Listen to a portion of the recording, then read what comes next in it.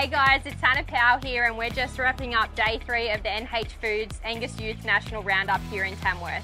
I'm here with Gus Spry, a local from here in Tamworth. Gus, tell us a little bit about what you've learned here today. Um, yeah, thank you, Hannah. Uh, I've learned a fair bit. Um, started off the day with um, getting my heifer ready for the cattle judging. Took her out here and ended up coming home with fourth place. Um, had a pretty strong heat, so you know can't get two fingers myself.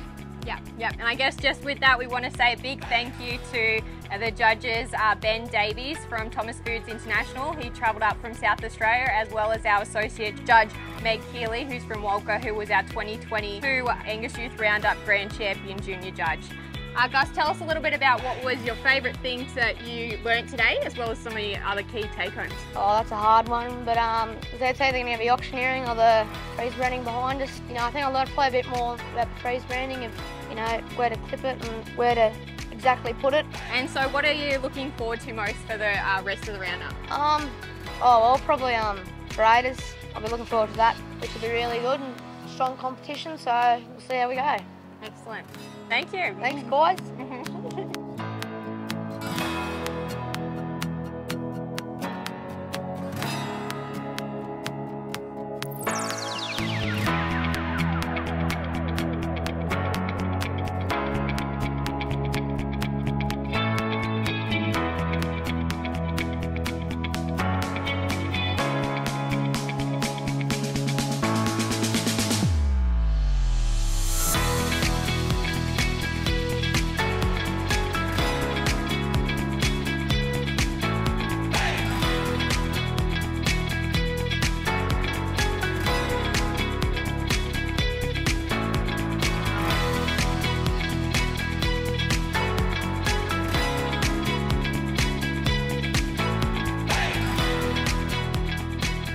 It's been a great lineup of cattle. The the, uh, the whole the whole day's been exceptionally well run, and, and the uh, the cattle have been exceptional. The um, the depth of quality right through the whole offering has been fantastic, and it's really a great credit to the breed to have such a such a large run, well run event, and um, it's been great to see. So I do a lot of these judgings around Australia. I feel it's been a big part of my youth, I suppose, and that's been why I like to give back to these events and, and be a part of them. I, you see these kids develop and grow, and uh, we've, we've got a number of young men and women who come into our business and feel they learn a great deal of not just about cattle husbandry and livestock and showing, but also how to introduce themselves, be a part of the community, and uh, and become great members of the community going forward. So I think there's a lot of things juniors learn through these events, not just about livestock, but also about mateship and, uh, and uh, communicating with older people and uh, really growing up to be great, great individuals in the beef industry. So, I, first time I've met Meg today, and she's been a, a great judge, and uh, we've really enjoyed bouncing off each other. And I,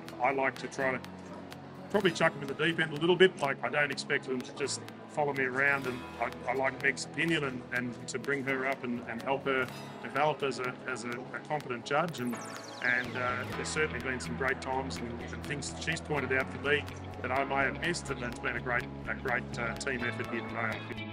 It's been awesome. Like I've been able to come back and still compete with this, and then today, um, the cattle class has just really taken this opportunity just to be a sponge and absorb all of Ben's knowledge, um, which has been amazing to be in that environment.